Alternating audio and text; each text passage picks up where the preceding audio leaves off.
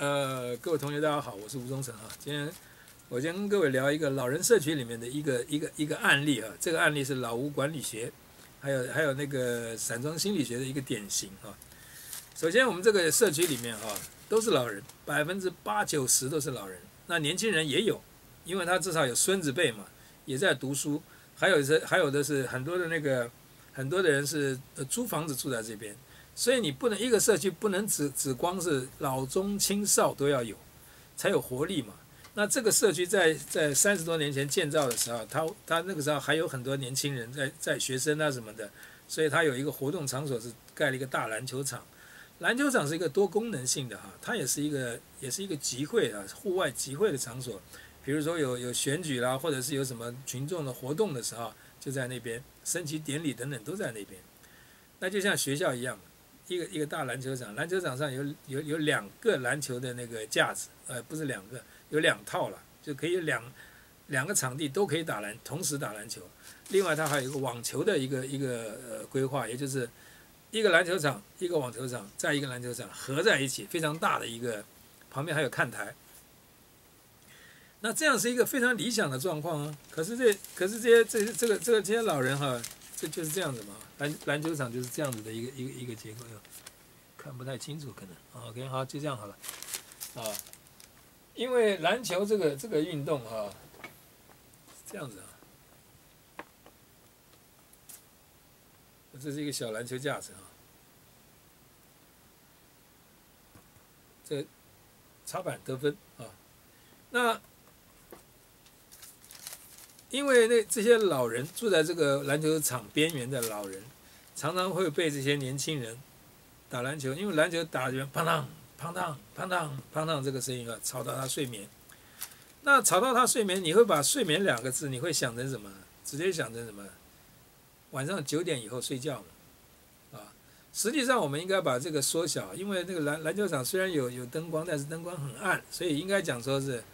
六点以后基本上就不应该在。在在在打篮球的，因为因为可能有的人还要读书啊，不只是吵到人家，因为这个这个篮球打到这边讲，砰当砰当砰当砰当这个声音确实是很烦人。那一般人讲呢，睡眠就会直接想到晚上的睡眠，可是你不知道老人的睡眠时间很长，他中午一定要睡觉，吃完饭之后他一定要睡觉啊，这是老人的一个一个一个一个生生活的。呃，习惯不是习惯，因为他的身体就支支撑不了，啊，那有的人五十几岁就要睡午觉，呃，四十几岁也要睡午觉。我一直到五十多岁，我都没有睡午觉习惯，啊，但是那个如果说白天没有睡午觉，晚上就会就会提早睡觉，因为体力仍然是有有限制嘛。可是那个老人他，你可以常常看公园里面老人坐在那边在打打瞌睡，因为他没有事情做的时候，他就容易。容易打瞌睡，因为他每天睡眠时间很长，但是他是什么？晚上他睡不着觉，白天他到他白天他就每天就打随时就打瞌睡，这是老人的典型哈。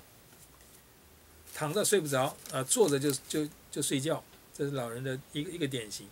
这些老人就在开领民大会的时候就就反映说，这个篮球场太吵了，结果就是说表决嘛，因为这个这个老人占了百分之九十嘛。所以老人全部赞成把篮球场拆掉。结果当呃之前的那个那个那个管理管理的那个人哈，就是里长啊或者是什么呃管委会吧，社区管管理委员会的那个主委这些人，好，因为举手通过了嘛，全票通过嘛，啊大因为因为拥有房房屋有所有权的人只有这些老人，那那些年轻人不是父母或祖父母的房子。或者是租来的啊，甚至于说他就算他买的好了，啊，年轻人外外地来的年轻人买的房子，二手买的，买到的那个房子，他的人数也也不也远远远不足跟那些老人相相相匹敌，所以所以要要要要要举手表决的时候，一定是输的。好，OK，举手表决是输的没有错，就是这个篮球场要拆，这个要拆掉嘛。可是你要拆掉的方式有很多种。篮球的架子是是长这样子的啊，这个篮球板是这样子的啊，我画在这里，它后面还有一个铁架，有的底下是一是一个那个用用那个什么用那个很重的那个铁轮。那有的像这边的篮球架，它是直接是从是埋在那个水泥底下的啊，就整个铁架就是就是在在固定在水泥底下的。那我就觉得奇怪了，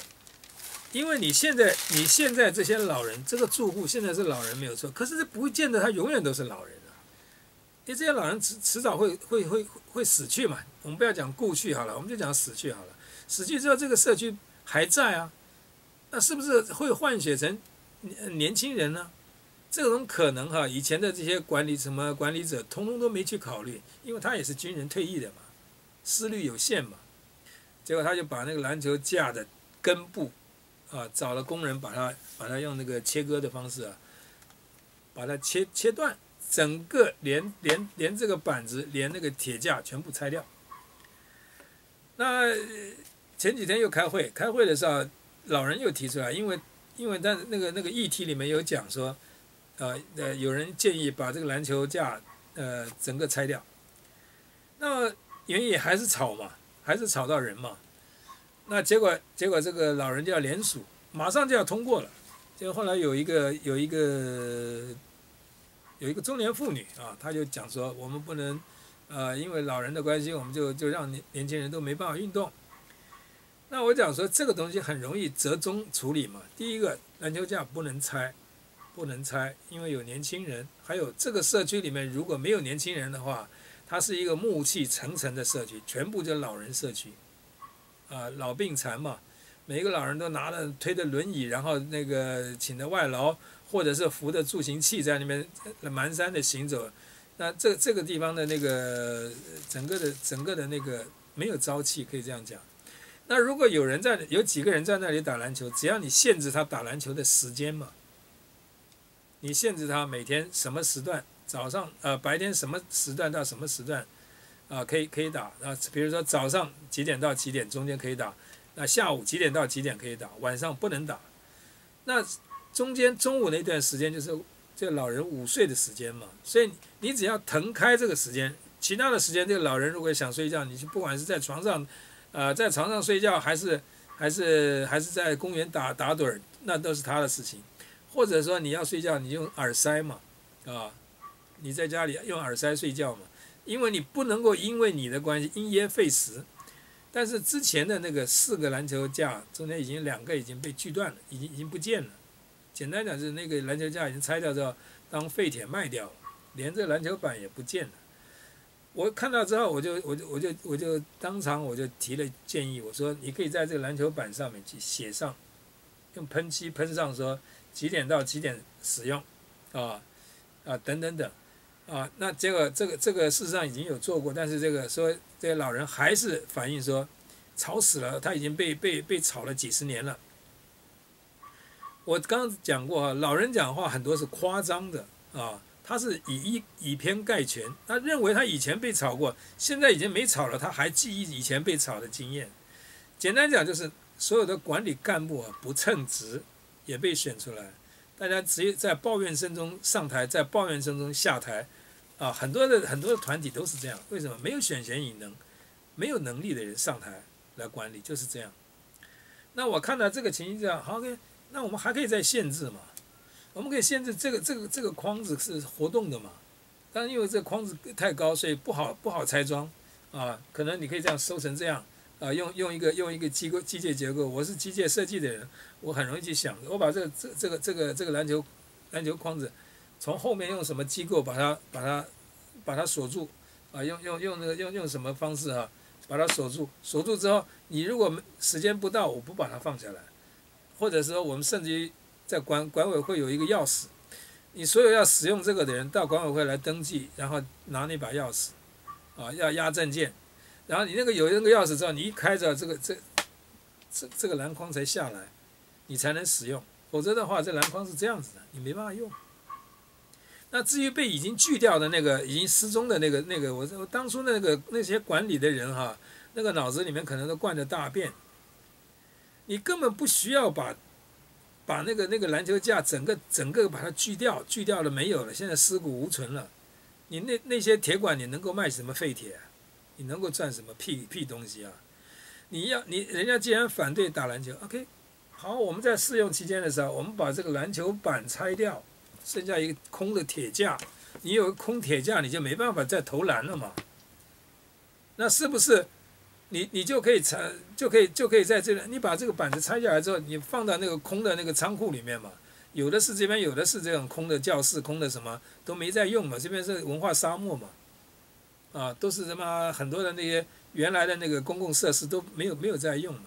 啊都是废，就在就荒废在那边嘛。这所有社区都是这样。好，那你把这个板子拆掉以后放到那边，篮球架还在，这个板子只用螺丝固定的嘛。以后如果说再要用的时候，再把它抬出来再装上去，没有损失任何东西啊。你为什么一定要把这个篮球架锯掉呢？已经早就锯掉了啊。因为以前的开会的时候，不知道哪一年开会的时候，已经已经把它锯掉了。我就觉得说哈，所有的这个所有的这个管理者哈。包从公从那个任何任何团体，包括国家在内，都是这样，没有深谋远虑，视力就是眼眼那个眼睛的那个世界非常狭窄，狭窄才会做出这样的决策来，把那个整个那个篮球架全部锯断。现在又想要把剩下的那两个要锯断，我我就想说，还好我喊了喊卡了，喊卡了之后，这这件事情没办法没办法表决通过，所以保留了这个。我刚刚已经讲过了，能够做这样事情的很多嘛。这个这个架子能收起来，用用机构把它收起来，收起来之后它就不能打了嘛。因为打篮球的乐趣就是就是插板得分嘛，或者空心嘛，一定要有这个东西才叫篮球，没有这个东西不叫篮球了嘛。谁会拿那个篮球砸这个东西呃作乐呢？如果这样作乐，人人人呃可以可以这个可以那个群起而攻之，就这么简单的事情。但是一个老人社区就不是这样，所以这就是一个很典型的例子。这我讲老吴管理学就是讲这些东西，合理化嘛，对不对？那还有一个防呆嘛，啊，要要遏制这些这些年轻人，所以你要把手续列出来，他必须去管委会去登记才能够使用，免费使用，这跟借书一样，免费使用，但是你必须登记，我要控制你，因为你有押证件在这里，啊。如果你时间超过了，你还在那边用，没有人过去监督，可是老人会会会会会反应啊，啊，反应的时候，OK，那我们就可能限制两次、三次，你就丧失再使用的资格，就这么简单嘛。这跟我们图书馆借书情形一样嘛，你预期他会通知你嘛，啊，等等等，凡此种种都不需要把现有的设备把它完全消灭掉，你消灭掉是因为你。以个人的利益为为为为圆心来思考，你怎么没想到其他人不是像你这样老病残的呢？那些年轻人难道你要把他手脚绑起来不让他运动吗？这也这也不合理嘛，也不合情，啊！我想以上就是吴宗仁跟各位分享从一个篮球架的使用啊来谈管理，谢谢。